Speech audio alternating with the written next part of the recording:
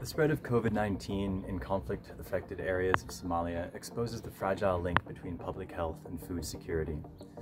In the fertile riverine tract of Lower Shabelle, the so-called breadbasket of Somalia near Mogadishu, recent episodes of violence and flooding have uprooted communities of farmers. Rising levels of displacement among cultivating communities in an otherwise arid country disrupts Somalia's fragile agricultural supply chain. As more and more people are forced to seek safety elsewhere, the risk for the transmission of COVID-19 also rises, adding a strain to Somalia's overburdened and under-resourced healthcare system.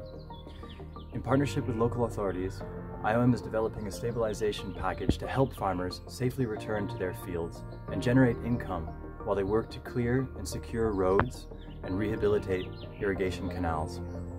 These efforts aim to shore up agricultural supply chains by revitalizing irrigated farming, building drought resilience, securing crucial arteries for transport and trade, and ultimately restoring trust in local authorities. Keeping farmers safe and catalyzing local economies in Somalia also ensures displaced communities can better recover from the impact of COVID-19 so that the most vulnerable are not left further behind.